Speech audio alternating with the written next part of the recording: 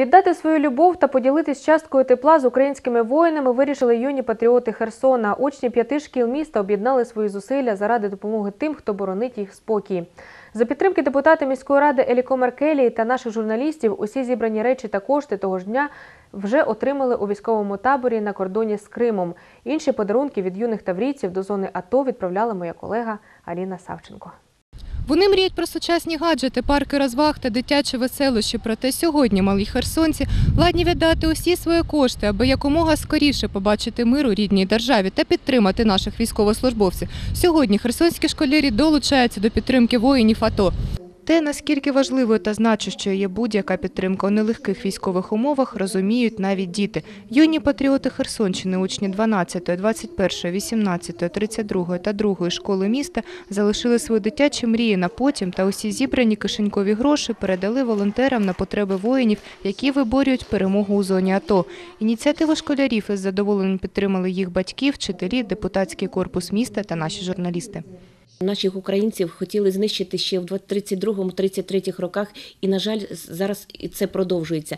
Ми е, будемо підтримувати наші, наших воїнів, які обороняють не тільки нашу Херсонську область, а взагалі вою- воюють на сході України. Ми віримо в вас, українські солдати.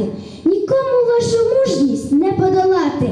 Ви переможете обов'язково. І ці страшні дні не повторяться більше ніколи. Для підняття бойового духу вояків від дітей не лише гроші, а яскраві виступи та привітання, які ми вже найближчим часом пообіцяли передати у військові частини. А ще заради того, аби солдати могли отримати зайву пару шкарпеток або пакунок із цукерками, малі діти готові відмовитись як від давньої мрії, так і від смаколиків, на які дали гроші їх батьки. Мама дала гроші, щоб я купила собі виріжок, пиріжок. Але я люблю свою країну і хочу, щоб там був мир. Тому я віддам ці гроші е, нашим захисникам. Ще один момент, від якого перехоплювала подих, зустрічі з вихованцями другої спеціалізованої школи. Діти з особливими потребами, які звикли отримувати допомогу інших, сьогодні самі передали її солдатам. Окрім щирих привітань та слів подяки від малечі, яскраві поробки та листи з привітаннями. Останні вже увечері ми відправили поштою у зону АТО. На самом деле, вот это не совсем обычные дети, это детки с особыми потребностями. И, ну, чего греха таить, детки, которые привыкли к тому, что им помогают.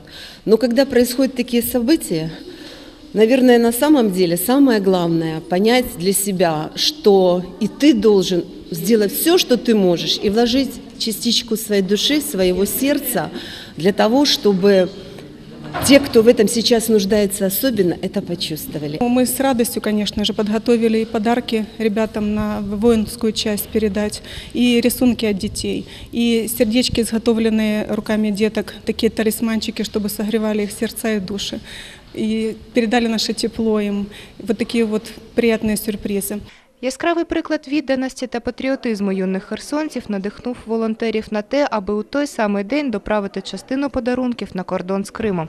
Здивуванню та вдячності солдатів не було меж. За їх словами, заради таких моментів вони готові до останнього ціною власного життя виборювати перемогу та оберігати спокій тих, хто дарує свою турботу. Дуже приємно, що наші діти не перестають хвилюватися за нас, посилають свої, хоч маленькі, але подарки, так сказати, військовим на передову, які захищають терени нашої родини. І постійно ми знаємо, що нас ждуть і надіються, що ми повернемось живими і здоровими.